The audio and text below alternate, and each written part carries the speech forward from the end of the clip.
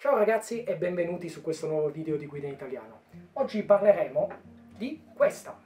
Esatto, la stessa scheda di cui abbiamo parlato già nel nostro primo video. Se non l'hai ancora visto, qui sopra ti metto il link del video. Ma vediamo l'evoluzione di questa scheda. Allora, in tantissimi mi avete chiesto, fatto domande, è effettivamente una scheda veramente molto buona, la Focusrite. Ma vediamo che cosa cambia dalla parte evolutiva di questa scheda. Apriamo subito il pacco. Come vedete oggi a differenza dell'altra volta non ho il coltello da cucina ma ho trovato il taglierino, quindi apriamo il pacco come le persone normali.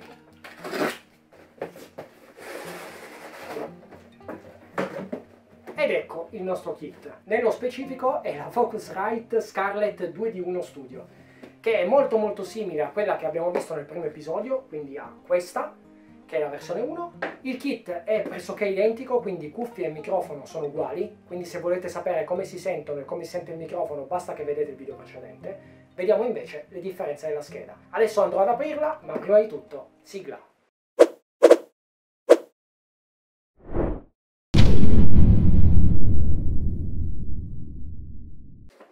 Ed eccoci qua, senza ovviamente andare a togliere tutti gli accessori dalla scatola, perché ripeto sono identici al kit 1, andiamo invece proprio a vedere le differenze di questa scheda. Allora, le principali funzioni rimangono le medesime. Come potete vedere, anche questa scheda, due jack da 6 come uscita per le casse, USB eh, di tipo C per quanto riguarda connessione col computer e alimentazione diretta della scheda, e anche questa scheda ha esattamente le specifiche della prima, quindi abbiamo ovviamente alimentazione Phantom, funzione Air per dare una voce un po' più limpida e cristallina, regolazione dei singoli volumi degli ingressi, ma qui iniziano le differenze. Infatti l'ingresso 1 e l'ingresso 2 questa volta sono tutte e due ingressi XLR, quindi con possibilità di inserire connettori XLR per microfoni ovviamente più professionali, ed entrambi supportano anche jack da 6 come ingresso. Quindi sicuramente questa è la prima differenza rispetto alla versione 1 di questa scheda. Ma la grossa differenza, che per tanti effettivamente è una cosa che non può mancare, è la doppia regolazione per l'uscita. Abbiamo l'uscita master, quindi la regolazione del volume master che andrà a regolare i nostri spinotti da 6 verso le casse, ma in più abbiamo anche un'uscita dedicata per quanto riguarda le cuffie. Quindi potremo avere un volume molto molto basso, magari di sottofondo per quanto riguarda le casse,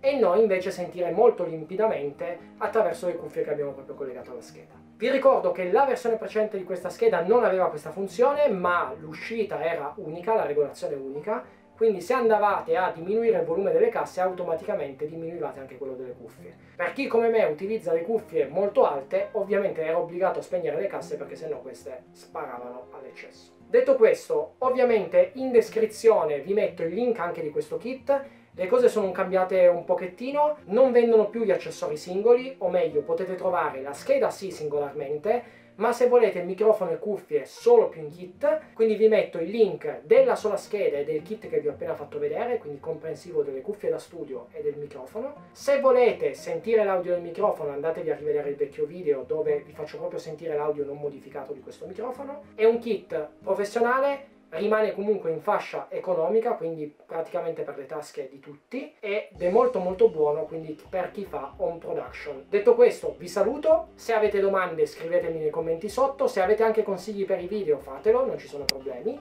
e se non vi siete ancora iscritti al canale fatelo, accendete la campanellina e lasciate un bel like. Ciao!